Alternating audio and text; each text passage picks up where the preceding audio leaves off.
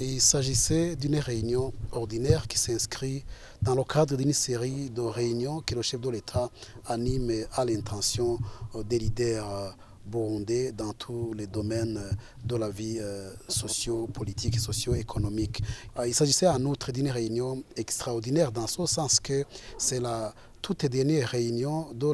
la, législature qui va de l'an 2015 à l'an 2020. Et le chef de l'État a d'abord fait l'éloge de ces gouverneurs qui, selon lui, ont été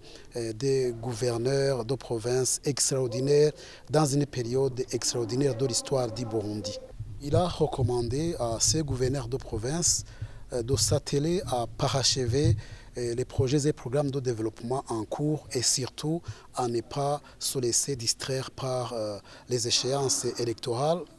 comme il a souligné, les élections contribuent à asseoir la paix, la sécurité, la démocratie. C'est un catalyseur du développement, mais le peuple ne vit pas des élections, mais plutôt des projets et programmes de développement, raison pour laquelle ils doivent mettre en avant les programmes de développement et peut-être participer dans les activités électorales au deuxième plan. Le chef de l'État a ensuite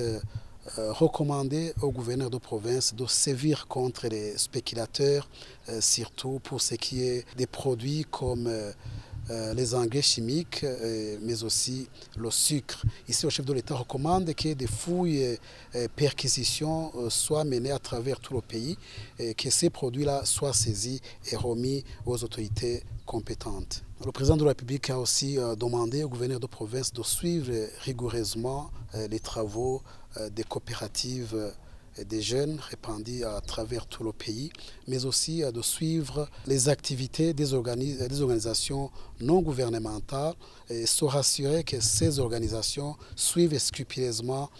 les mesures arrêtées par le gouvernement du Burundi et il a recommandé au ministre de l'Intérieur d'oreiller de la liste des ONG toutes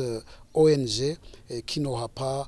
mis en application les recommandations du gouvernement burundais. Il a aussi été question des adeptes d'une femme qu'on appelle Zewia, des adeptes qui aujourd'hui voudraient transformer leur secte en une confession religieuse. Ici, le chef de l'État demande qu'une période d'observation euh, soit euh, prise pour se rassurer que réellement ces adeptes-là veulent prendre euh, le chemin de la légalité et qu'il n'y a pas des mobiles ou des objectifs inavoués qui se cachent derrière cette manœuvre. le chef de l'État a enfin recommandé au gouverneur de province de comprendre qu'ils sont redevables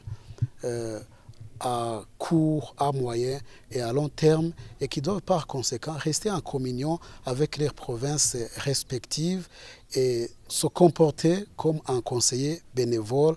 envers euh, ceux qui vont euh, prendre la relève. Nous pouvons grosso modo dire qu'il s'agissait d'une réunion